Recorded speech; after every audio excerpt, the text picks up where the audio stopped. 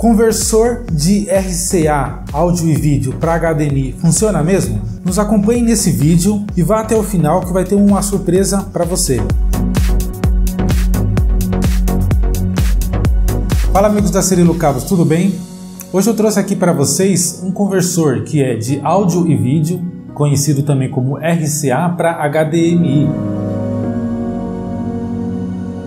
O mesmo possui uma saída HDMI e a tão esperada entrada áudio e vídeo RCA.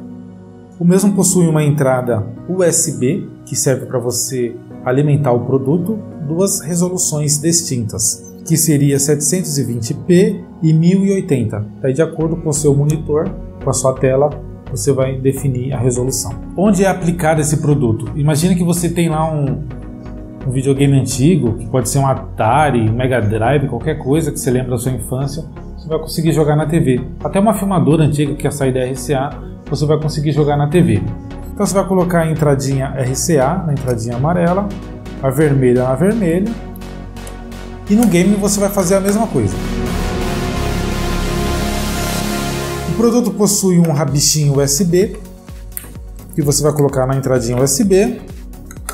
Caso seu game não tenha uma entrada USB, você coloca, pode colocar no carregador. Agora eu vou mandar esse vídeo desse game para a TV. Então eu vou ligar o cabo HDMI.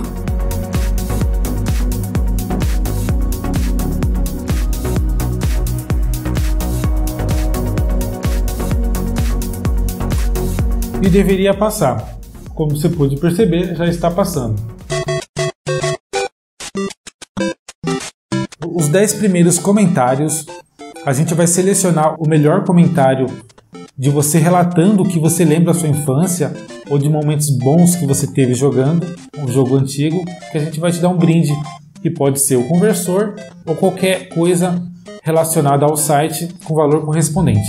Muito obrigado e até os próximos vídeos.